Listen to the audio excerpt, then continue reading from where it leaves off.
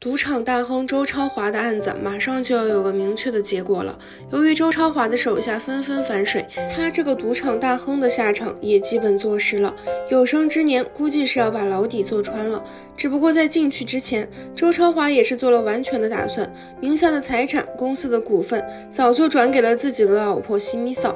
可以说，即便自己出不来，西米嫂也能衣食无忧的照顾自己的孩子一辈子。但让人没有想到的是，今年才四十一岁的西米嫂，貌似不太安于如今的现状。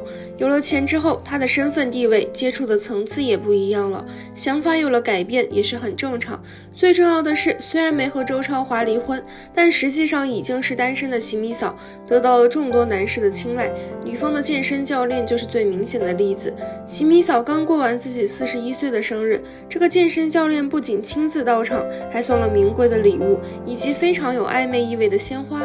当最有意思的是，洗米嫂貌似对于自己的健身教练也有好感，两人合照的时候居然是搂在一起的，根本不惧旁人的眼光。女方都这么主动了。男教练自然也是打蛇随棍上，而且在不少场合都能看到这位健身教练的身影。